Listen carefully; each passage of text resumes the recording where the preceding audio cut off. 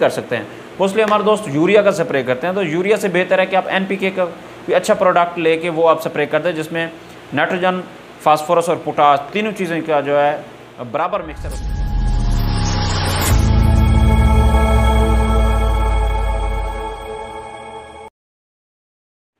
बिस्मिल्लाह मेरे दोस्तों, मैं आपका होस्ट सुनावला बलोच और आप देख रहे हैं सुनावला गिरें यूट्यूब चैनल आज आपके साथ बातचीत हो गई कि जैसा कि आपको पता है कि धान की जो फ़सल है, वो अपने एंड स्टेज पे पहुँच चुकी है।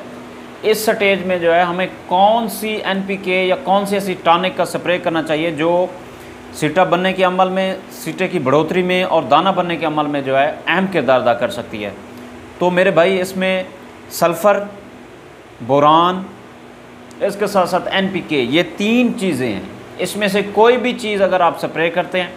तो उसमें फ़ायदा दे सकती है। अब मैं अगर बुरान की बात करूँ तो बुरान एक ऐसा केमिकल है, एक ऐसी जो है न्यूट्रिएंट्स है, जो क्या करता है, सिर्फ़ दाने बनने के अमल को तेज़ करता है, दाने की भराई के अमल को तेज़ करता है,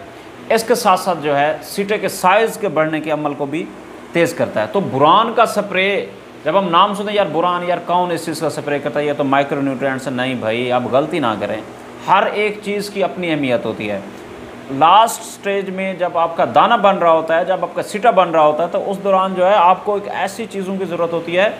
जो दाने बनने के अमल को, जो सीटा बनने के अमल को, जो सीटे के साइज़ के बढ़ने के अमल को तेज़ करे, ताकि आपकी फ़सल की जो पैदावार है वो अच्छी रहे। तो मेरे भाइयों, जितनी भी ऑडियंस जितनी भी मेरे व्यूअर्स हैं, मुझे देखने वाले हैं तो मैं उनसे यही रिक्वेस्ट करूँगा कि आप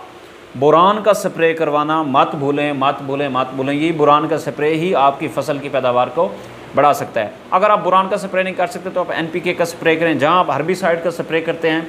जहाँ आप फंगीसाइड का स्प्रे करते हैं, उसकी वजह से आपकी फ़सल में थोड़ा बहुत स्ट्रेस आ जाता है, उसका मेटाबॉलिज्म स्लो हो जाता है, उसकी ग्रोथ रुक जाती है तो उसको तेज़ करने के लिए आप एन का स्प्रे भी कर सकते हैं। मोस्टली हमारे दोस्त यूरिया का स्प्रे करते हैं तो यूरिया से बेहतर है कि आप एन का कोई अच्छा प्रोडक्ट लेके वो आप स्प्रे कर दें जिसमें नाइट्रोजन फास्फोरस और पोटास तीनों चीज़ें का जो है, बराबर मिक्सचर उसमें पाया जाता है तो वो भी आप इसके ऊपर स्प्रे कर सकते हैं जिसके अच्छे रिज़ल्ट जो है इन